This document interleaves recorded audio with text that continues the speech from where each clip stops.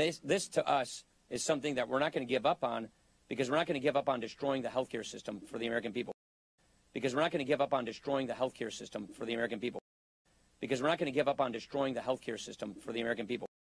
Because we're not going to give up on destroying the healthcare system for the American people.